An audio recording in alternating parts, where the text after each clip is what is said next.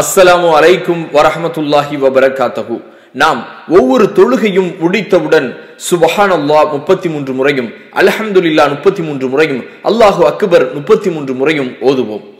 நூறாவது முறையாக இதை நீங்கள் ஓதினால் உங்களுடைய பாவங்கள் மன்னிக்கப்படுகிறது. அதை போல் சிறு பாவங்கள் தவிர மற்றவை கடலளவு இருந்தாலும் மன்னிக்கப்படுவதாக அல்லாவுடைய தூதர் நபிகள் நாயகம் சல்லாஹ் அலைஹி அவர்கள் சொல்லுகின்றார்கள். முஸ்லிம் என்கின்ற நபிமொழி தொகுப்பிலே ஆயிரத்தி நாற்பத்தி எட்டாவது ஹதீஸாக அபுஹரேரா அலி அல்லாஹ் அவர்கள் அறிவிக்கின்றார்கள். நீங்கள் தொழுகை முடித்தவுடன் முப்பத்து மூன்று முறை சுபஹான் அல்லாஹ் அல்ஹம்துலில்லா அல்லாஹு அக்பர் என்று சொல்லிக் கொள்ளுங்கள்.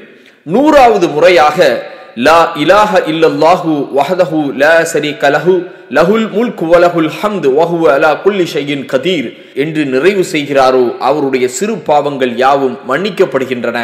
அவை கடலின் நுரையளவு இருந்தாலும் சரியே என்று நபிகள் நாயகம் சல்லல்லாஹ் அலைஹி செலவர்கள் சொல்லுகின்றார்கள்.